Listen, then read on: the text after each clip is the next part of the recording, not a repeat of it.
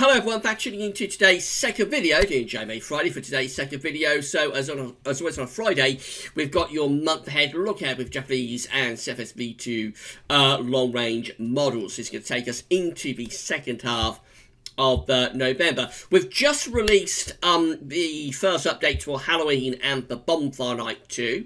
So it looks like it could be fairly seasonable actually for both Halloween and the Bonfire Night. It could be rather chilly feel, have to wrap up put your scarf, scarf uh, coat and gloves on, perhaps. Um, so have a look anyway at the Halloween and Bonfire Night update uh, when you've done with this one. We'll be back, of course, later on this afternoon with your week to 10 day video update.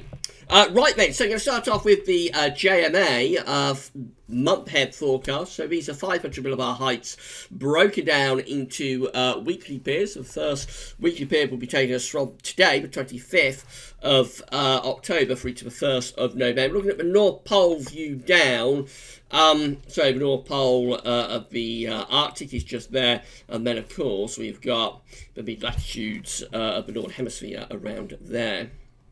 Blue is extrapolated to below average heights, which is low pressure, and yellow, orange, and red extrapolate to above average heights, which is high pressure.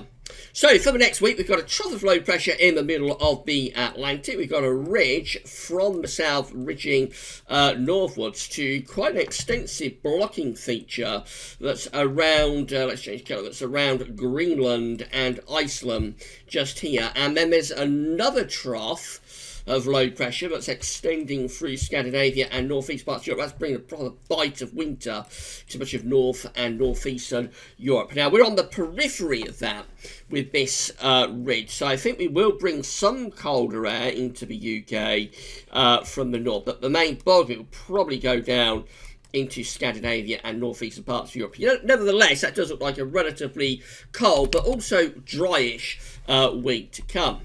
Then we go through to uh, week two. This one takes us from the 1st through to the 8th of November.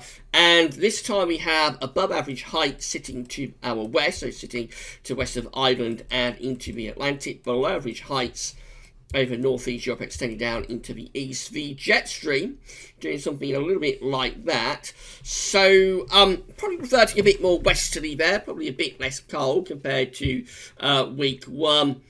Not particularly warm though, the winds are still coming in coming from a northwesterly type direction. Fair amount of dry weather though as the Atlantic is blocked off. And then we go through to weeks three and four. This one takes us from the uh, 8th through to the 22nd of November. Quite a complicated pattern now. So we're trying to revert into a westerly flow with below average heights around Greenland and Iceland and an area of above average heights through the middle of the Atlantic. And that's trying to bring in uh, the jet stream like that. However, it looks like the energy is becoming uh, cut off down to the south. There's this area of low pressure sitting sort of across central parts of Europe and down into Mediterranean. The reason that's happening is that heights are rising towards Scandinavia and back into the Arctic. And that's trying to bring in cold easterly winds, particularly to northern parts of Europe. And so what's going on there is that it's actually a bit of a battle, I think, taking place with projection coming across the Atlantic like that with weather systems, but then meeting um, the block but sitting up to the northeast. And so that's sending the energy, instead of it going sort of west to east as it would normally it's sending the energy down here uh, with this low pressure end developing through central uh, parts of Europe and down into the Mediterranean. It's an interesting uh, chart. It looks like it could be just about on the cusp of bringing cold weather in from the uh, east. But um, do bear in mind it's a two-weekly anomaly, so it might be a bit transitional. Uh, and remember, Westerlies are trying to re-establish there. So that really is a case of being poised between two possible scenarios for the second half of uh, of November, and more runs would be needed to determine where that's going.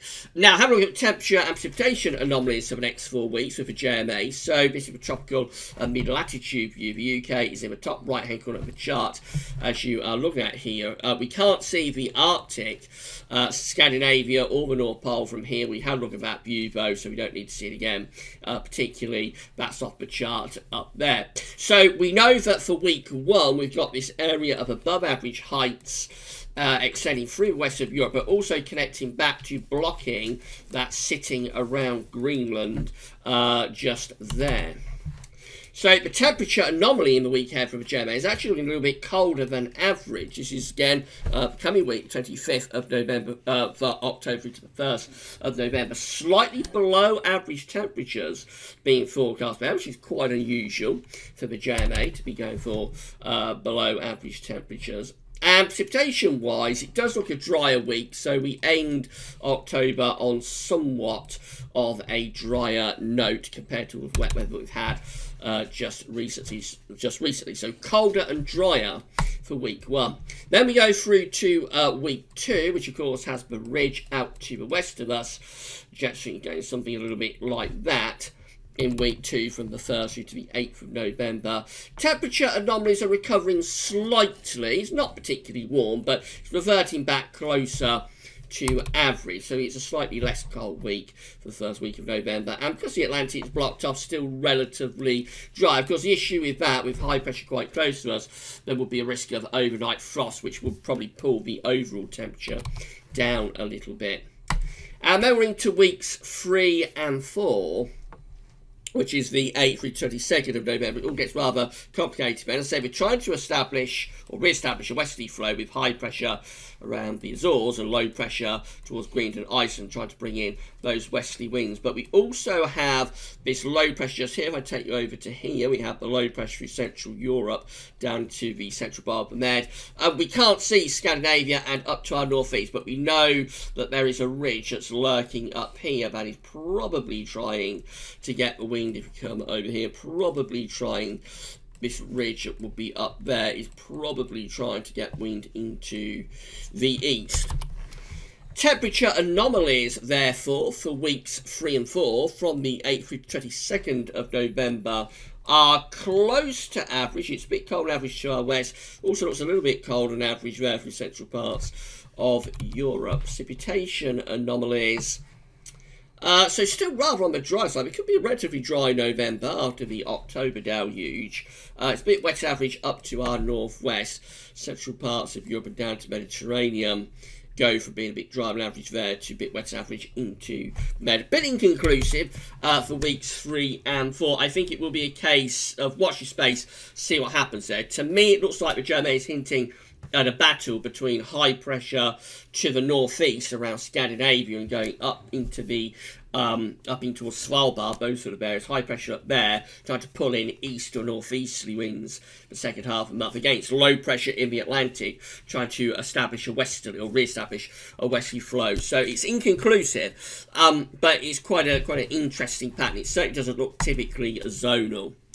Uh, this house CFSV2 is looking for the next four weeks. So again, these are 500 millibar heights. They're broken down into week periods. The first week period takes us from the 25th of October to the 31st of the month. So the uh, coming week has blocking around Greenland, a blocking area with high pressure there, with a trough of low pressure extending through northeastern parts of Europe. That's bringing cold air that sort of direction. We do also have low pressure in the middle of the Atlantic there, and we have a ridge around Spain and in central parts of Europe that, of course, is trying to bring up much warmer air, milder air, or warmer air from the south and from the southwest. But for us, actually, I think we're pulling in those cold winds from the northeast in the week ahead. So a pretty chilly week to end October. That's how we look in week two, which is the 1st to the 7th of November. A little bit different to what the JMA is showing here.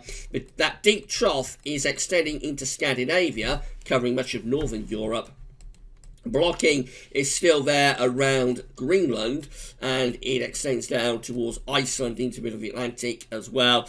This definitely leaves us looking cold through the first week of uh, first week of November and potentially a little bit on the wintry side actually. I, I think there will be the chance of wintry showers certainly for northeastern parts of the country, and we are sort of on the cold side of the jet stream. So a pair of cold weeks there through for the final week of October and the first week of November. Then we get through to week three, which is the 8th to the 14th of November.